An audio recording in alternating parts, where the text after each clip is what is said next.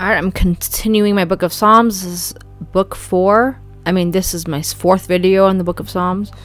I'm gonna skip to Psalm 49. I'm gonna try to get through the book of Psalms. It's very long, but it's so important. I feel bad even skipping one, but I can't make one video on every single Psalm. It will take years. Anyway, so I'm doing every book of the Bible again. If you are interested in that, please go to my playlist and go through every and I go through I'm slowly getting to every book of the Bible. Alright. uh, Psalm 49. I want to talk about Psalm 49. Uh, earthly riches will not, will not last. Okay. Um, I'm going to go to part 6. Uh, they that trust in their wealth and boast themselves in the multitude of their riches None of them can be can be by any means redeem his brother or give to God a ransom for him. For the redemption of their soul is precious and ceases forever. He that he should live forever and not see corruption, for he has for he hath for he seeth that wise men die, likewise the full brutish person perish, and leave their wealth to others. The inward thought is that their own houses shall continue forever, and their dwelling places and their dwelling places places to all generations. They call their lands after their own names. Alright, so this is talking about how earthly riches don't last, but this is very important.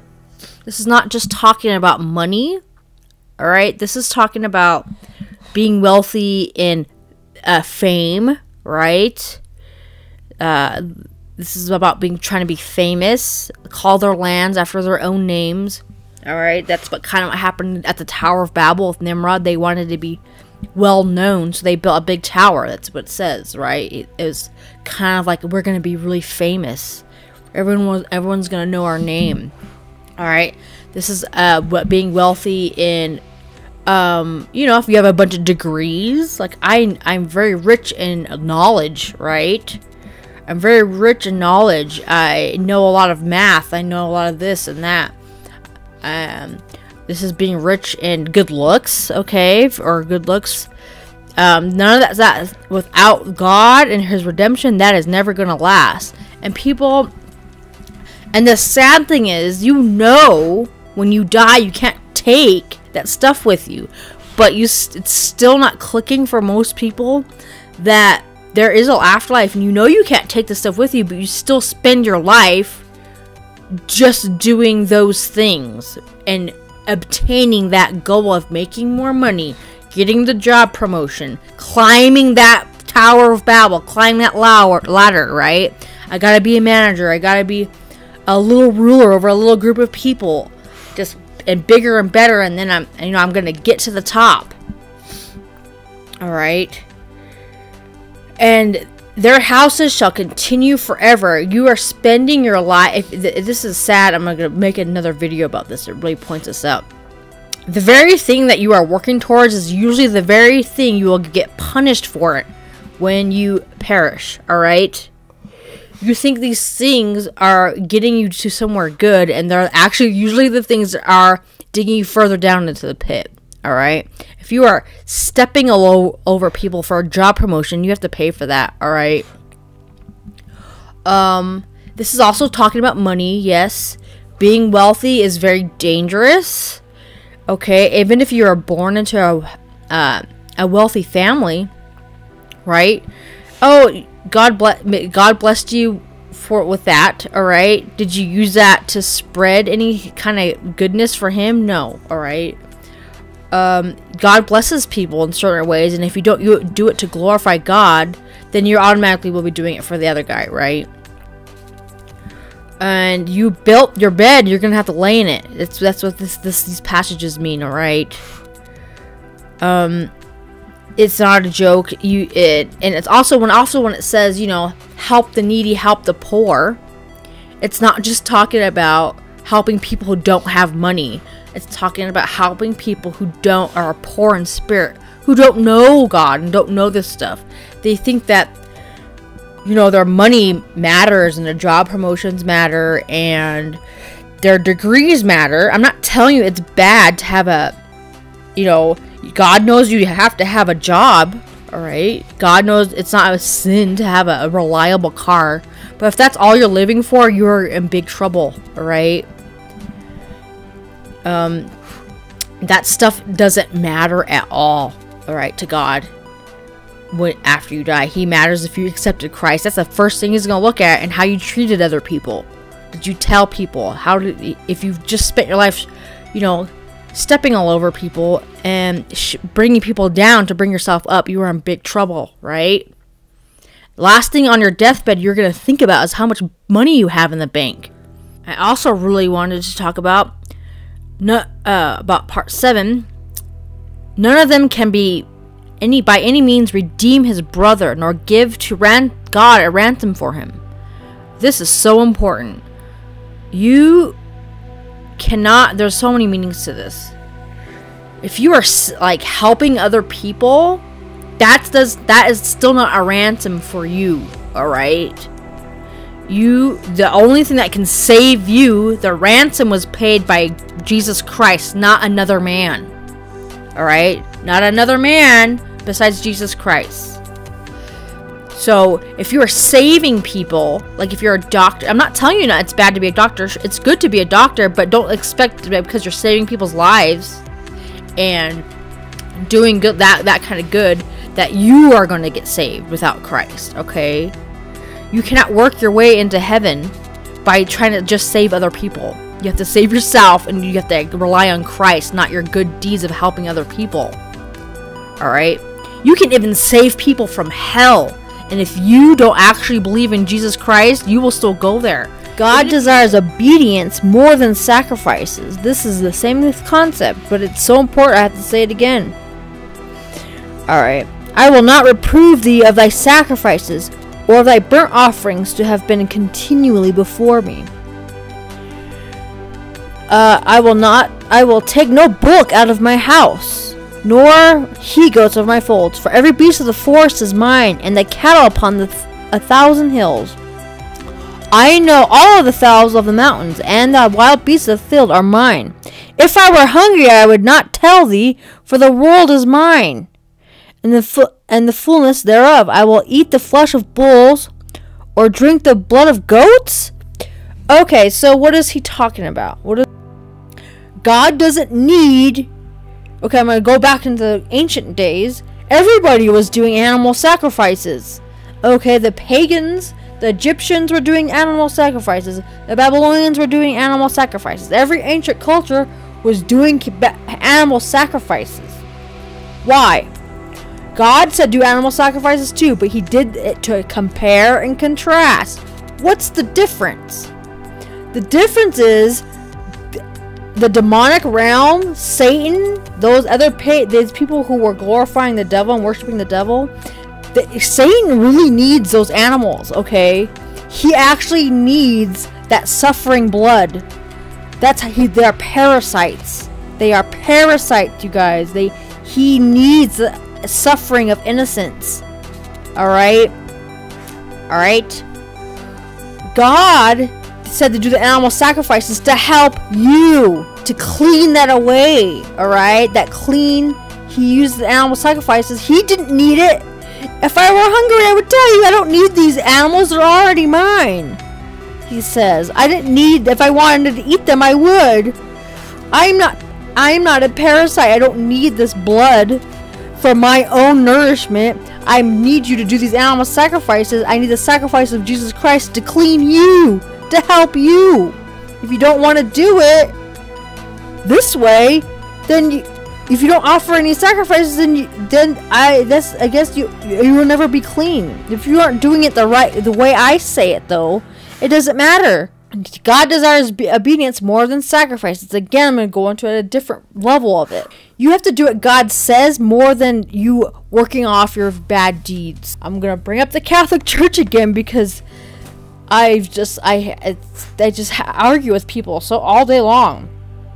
I try not to go on. I mean, in real life, I don't argue on, on the comments because I I'm not going to get in a big long argument. You can either believe what I'm saying, hopefully God, the Holy Spirit, will come to you. I'm not going to get in a big long arguments, but I do argue with my family because I tell them they think that I they show I show them the Bible passages where it says you cannot pray to you know dead people and you can't you can't pray to saints you can't worship angels it tells you literally Jesus literally said not to pray in, in repetition to pray on beads which is a rosary but they think that because that if they do the other stuff other good stuff it, even if that stuff is bad it will just counteract the other one right you have to do what God says and not work on. There's no deal breaker, okay? There's no making deals with God to do bad stuff. Alright? You have to do what He says, not work it off with your good deeds. Does that make sense? Alright? He desires obedience more than sacrifices. You gotta listen to what He says. Don't just try to make up for your bad deeds by with good deeds. It doesn't work like that. There's not a balance scale like that. The only thing He's gonna see is if you're listening to Him and you accept Jesus Christ. If you do something bad, you cannot work it off with something good. That's what every other, most other religions teach, okay? They teach as long as you do more good than bad, you will go to heaven. You will go to the uh, some good part, realm, whatever. All right, there. God says no. Even one sin is never. Even if you do one sin, you do your rest of your life doing good deeds, it'll never be enough. The only thing that's good enough is the sacrifice of Jesus Christ. That's the only thing. Your own sacrifices won't mean anything without Christ. All right? You cannot you cannot say, "Well, I'm going to do one Our Father for every 10 Hail Marys." That one Our Father is going to counteract all the 10 Marys that God that you're not supposed to be saying anyway. No, it doesn't one good thing doesn't counteract all the bad things, okay? Never. It doesn't work like that. Oh, this is a this is a classic. Uh, his words of his mouth were smoother than butter, but war was in his heart. His his words were softer than oil, yet were they drawn swords. I'm gonna talk about this double-edged sword in another video. Okay, how he anyway, how Satan lies from both sides of his mouth. Anyway, this is talking about Satan, but it's also talking about you telling yourself things or hearing things from other people to discredit God, and it makes sense. His his mouth, the words of his mouth were smoother than butter.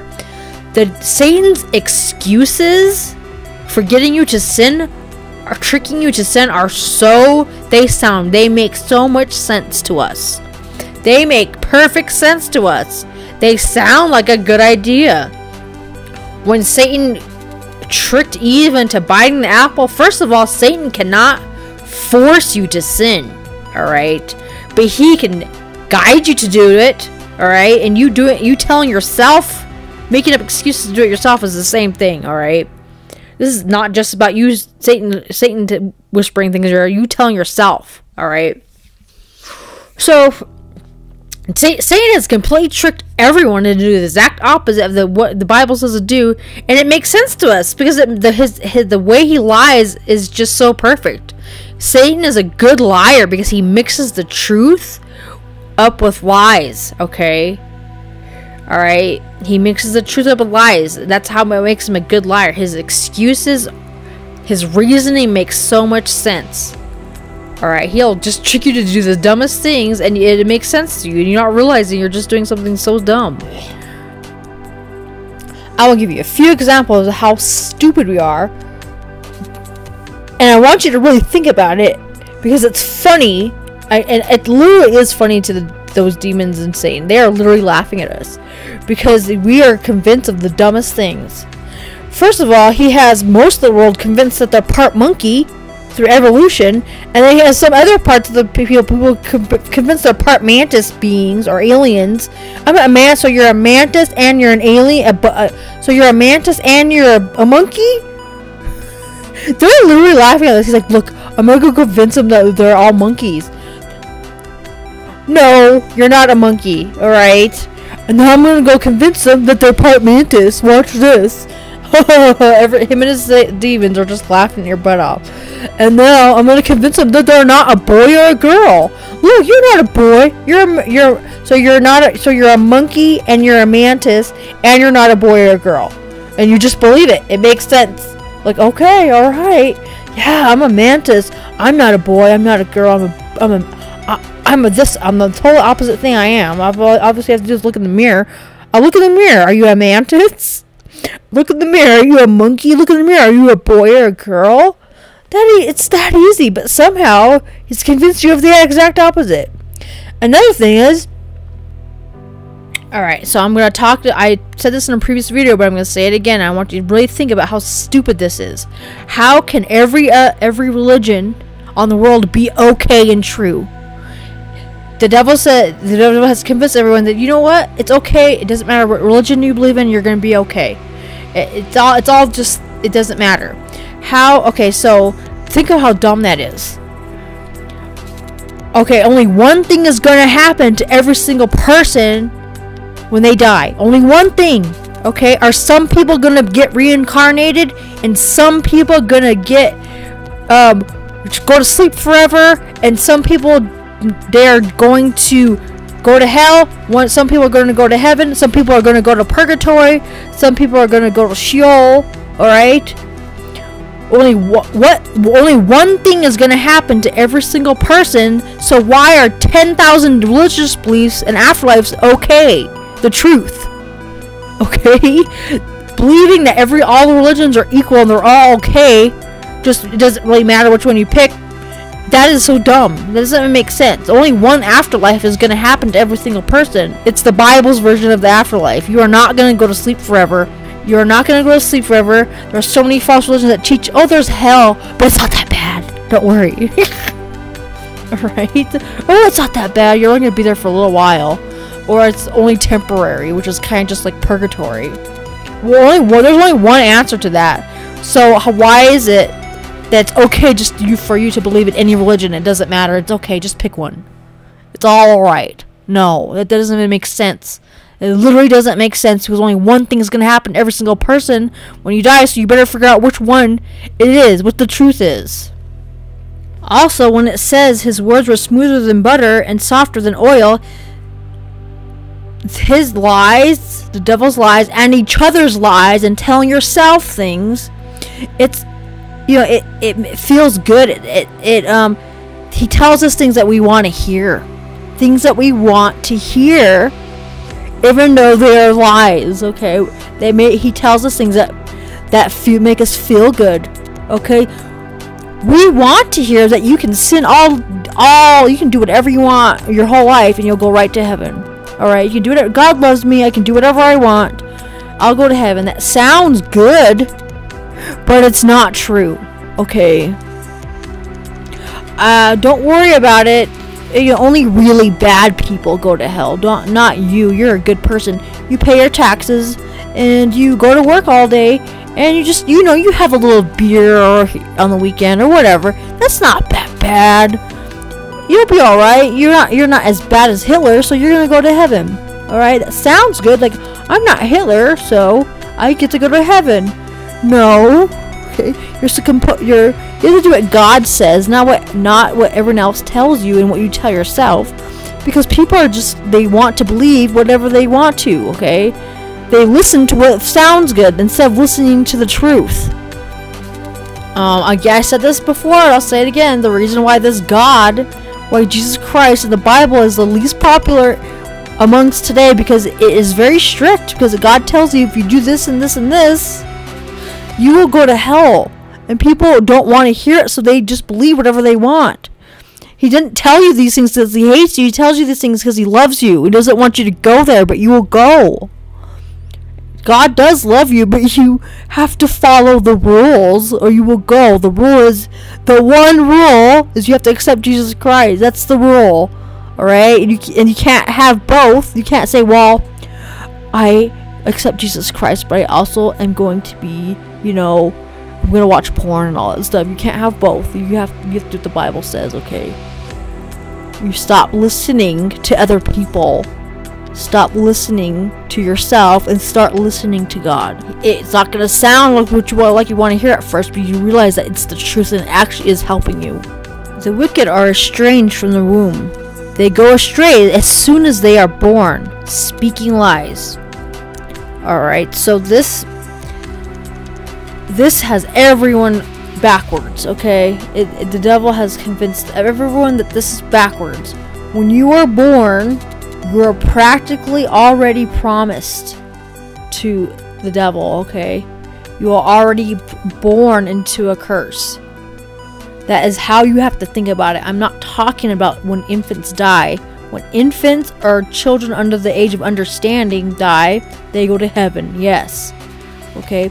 But the devil has it convinced, has everyone and, and everyone else, you telling everyone else this too, that if you you're basically just gonna go to heaven, and you just have to do a bunch of bad things to go to hell, and then as long as you avoid those bad things, you're good. No, you are already promised to the devil unless you accept Jesus Christ. That's what you have to do. Okay, it's not the other way around. Everyone thinks it's the other way around. Everyone thinks that you are born innocent and you stay innocent. As long as you don't do a bunch of horrible things, you're good. Nope, you already you are born wicked. All right, you're born with wickedness in you, and you have to no one is born saved. Not one single person is born saved. They do you have to teach kids to lie? Do you have to teach kids to to hit each other? No, they naturally start doing it, right? That's weird, right? You have to correct them. And you have to really show them who Christ is if you want to be a good parent. Right? You yeah. The devil has that the other way on. He has, he has it convinced the other way around. Alright, you are born unsaved. Not one person is born saved. And while I'm on it, I'm going to use that same logic. Um, if God is not going to hold infants and babies under the age of understanding, which is not a specific age, it just depends, okay? It depends on the actual in, uh, person. Um, the if you you have to consciously accept Christ, okay, to be saved. If you are not conscious, all right, if you're not conscious of your surroundings, God is obviously not going to hold you responsible. Infants, if there's a horrible accident, they go, they go, their spirits go to heaven, their souls go to heaven. Use that same logic for infant baptism. All right, you have to consciously accept Jesus to be saved.